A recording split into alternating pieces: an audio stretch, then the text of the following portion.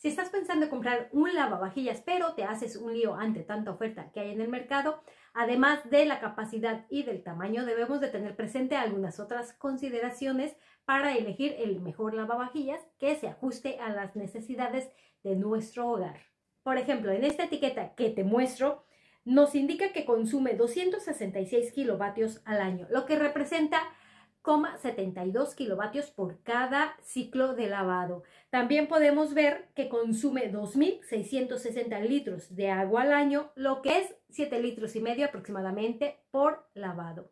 Los decibelios también es importante que los tengas en cuenta. 46 decibelios casi no hace ruido, casi no se nota. Y si lo pones a trabajar en las noches, los vecinos ni se enterarán. Y en cuanto a las opciones de funcionamiento, te sugiero que elijas aquellos que te ofrezcan la opción de programar, ya que de esta manera podrás dejar programado para que el ciclo de lavado se active en la franja horaria que más te convenga.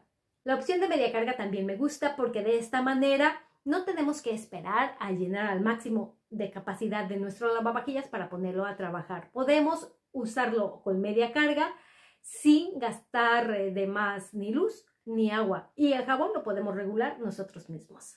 La opción de enjuague también es una buena opción, sobre todo para las familias que no ponen a lavar cada día el lavavajillas. De esta manera pueden enjuagar evitando que se reseque los restos de comida, de grasa y que se genere mal olor en el interior del lavaplatos.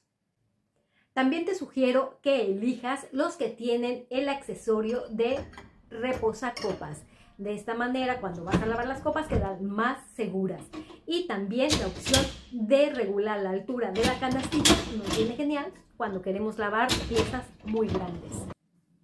Teniendo presente estas consideraciones, seguro que podrás ahora sí elegir el lavavajillas que se ajuste realmente a las necesidades de tu hogar.